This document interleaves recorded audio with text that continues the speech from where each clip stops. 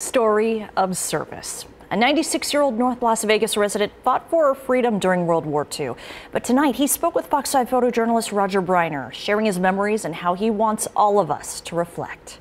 I was a chief gunner's mate uh, in the U.S. Navy, served aboard battleships to LSTs.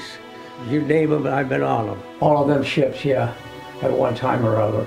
Most of them all seen combat. We went right on the beach. I mean, we landed right amongst uh, all the enemy itself. Shells was coming in at us as we was going in.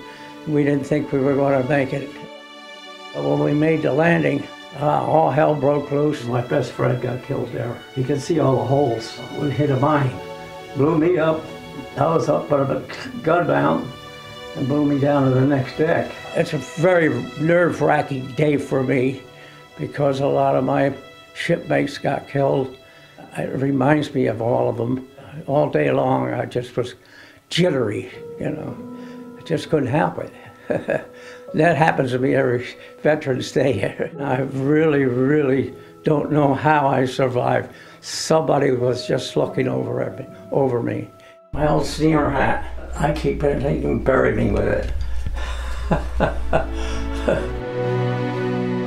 it's just one of our jobs we do. We joined the Navy. We wanted to fight.